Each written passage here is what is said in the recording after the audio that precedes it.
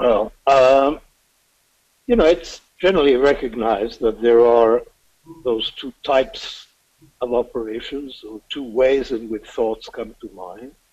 Uh, you know, if I say 2 plus 2, then something comes to your mind. And if I say 17 times 24, probably nothing comes to your mind immediately, but, but you can produce a solution if you know how to do it. It's 408, but that will take you some time. Uh-huh. And clearly, very different operations are involved.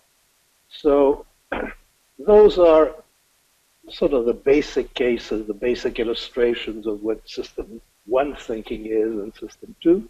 System one is associative, it is immediate.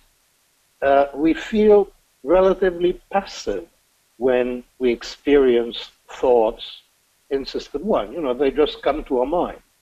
Uh, system two is different. We will it. We tend to be the authors of our thought. And most importantly, they demand some effort.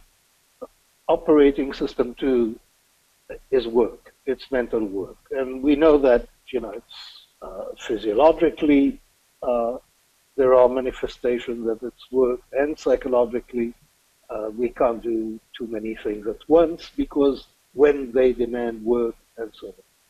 So those are, you know, that's, those are the two characters you can describe them as type 1 thinking and type 2 thinking, which in a way is more accurate. I prefer to have them as characters uh-huh. because I believe that people think more easily with characters than they do with types. And if you develop a personality for what I call system 1 and system 2, then you have a sort of clinical intuition about them. And, uh-huh. and you're able to, to get a sense of how they will behave in different conditions.